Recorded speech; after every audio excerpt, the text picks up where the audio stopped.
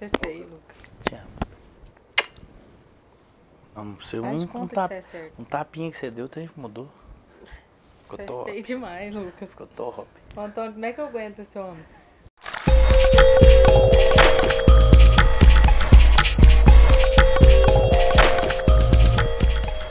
Meus irmãos, que é o pastor Lucas Galdino, nós estamos aqui mais um programa, é nós profetizando família, eu e minha poderosona, top. Helen, esposa do Lucas Galdino.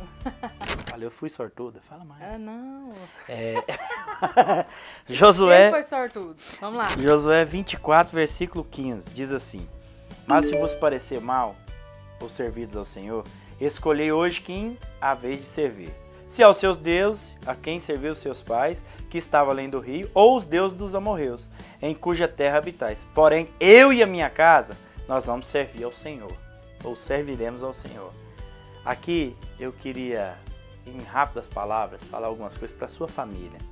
Josué chega no momento que ele fala pro povo, ó, vocês decidem aí.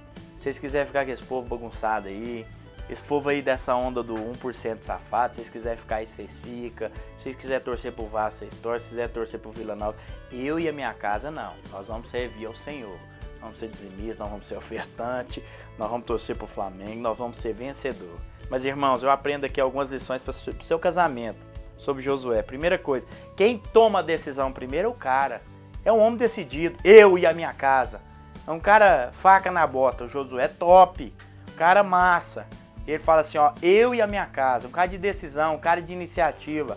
Eu e a minha casa. Não é a mulher dele que fala, Josué, o que, que você acha de nós? Não, eu e a minha casa. O cara já toma iniciativa de servir a Deus. Ele que tomou a decisão. Eu e a minha casa.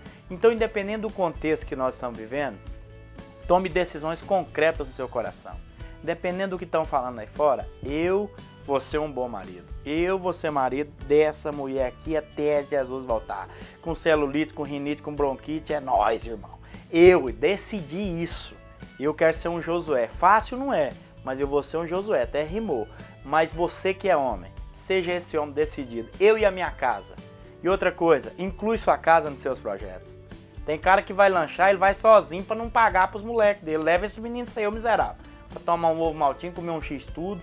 Tem cara que vai lanchar, o meu bem, vou ali comprar um remédio, vai no salada, come lá sozinho, três x tudo para não levar a mulher e os meninos para comer, que é amarrado.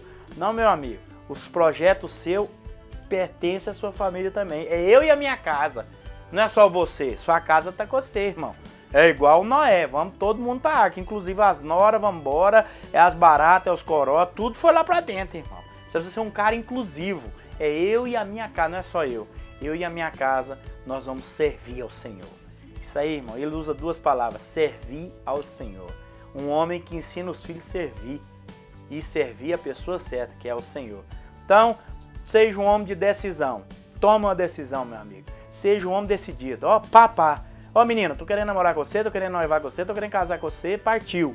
Ó, já olhei a aliança, um lugar ali, já comprei as alianças. Ó, já olhei o lugar aí pra nós morar, vamos lá pra você conhecer. É o cara, é o homem que tem que, pelo amor de Deus, dar os pulos. Josué, você é um Josué. E inclui todo mundo no seu projeto. A sua, é eu e a minha família. Eu agora, depois que eu pus essa aliança aqui, é eu e ela e os meninos. Tem que dizer só eu. O projeto não é só meu, é eu e eles. Fica com essa palavra dentro do seu coração, em nome de Jesus. Agora ela vai falar. Então, nós estamos vivendo um tempo em que servir é uma palavra muito difícil para ser vivida, principalmente para a mulher. Como cada mulher hoje trabalha, tem o seu salário, é, então o tempo é muito escasso. E todo mundo tem aquele negócio de colocar a culpa no tempo. Não, eu não tenho tempo para ajudar a minha família a servir ao Senhor. Porque eu vejo a primeira coisa que cada mulher precisa se vestir é pensar, eu preciso ser uma serva na minha casa. Serva para quê? Para ajudar o meu esposo. Porque tem dia que esse abençoado aqui, ou miserável, como diz ele, ele, tá desanimado. Tem dia que ele tá para baixo, ele não quer ir para a igreja. Às vezes ele chegou cansado de uma viagem e nós temos culto na nossa igreja aqui. E ele chega desanimado. Eu falo, não, se fosse para pregar aí, então nós vamos para a igreja. Porque tem dia que a gente precisa ouvir. Tem dia que é o dia da gente falar, mas tem dia que Deus quer falar com a gente. Então todo dia você que é mulher precisa incentivar, motivar o seu esposo, a sua família, mas antes de motivar, você precisa primeiro conhecer a Deus, servir a Deus de verdade.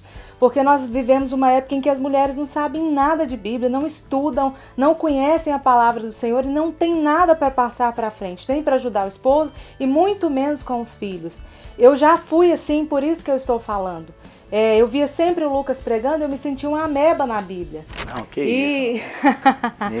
era desse jeito. Eu, eu, eu comecei a querer, a querer o quê? Crescer, desenvolver a minha fé, crescer na graça e no conhecimento. Sempre fui de oração, mas de leitura sempre fui fraca. E eu comecei com certeza a estudar a Bíblia. Cada dia o Senhor foi me mostrando tantas coisas que eu não via e eu pude ensinar para os meus filhos. Todos os dias eu tenho meu, meu momento com os meus filhos de ensinar versículos para eles, de ensinar é, é, louvores. Enche a sua casa de louvor.